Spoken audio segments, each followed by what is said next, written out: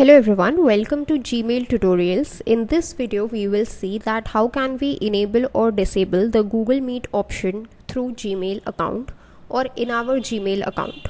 So for those of you who don't know about Google Meet, it is actually a video conferencing service provided by Google.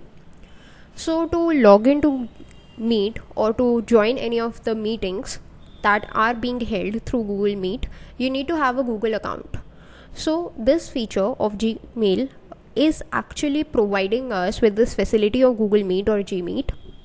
So what it enables us is that once we are logged into our Gmail account directly we can create new meetings we can actually work with this particular feature. In this video we will see that how will we enable or disable this feature. So without any further ado let us just dive right into the solution. The process is pretty simple. Open up your Gmail into your web browser, go to the cog icon that says settings, click on see all settings. Now here you will find this option called chat and meet. Go to there.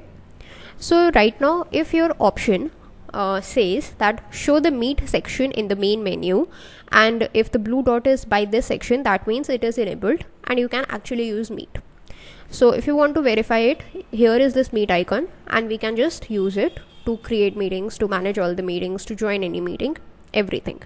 But in case you want to disable this, then you need to click on this hide option, click on save changes. Then what happens is your Gmail will be loaded.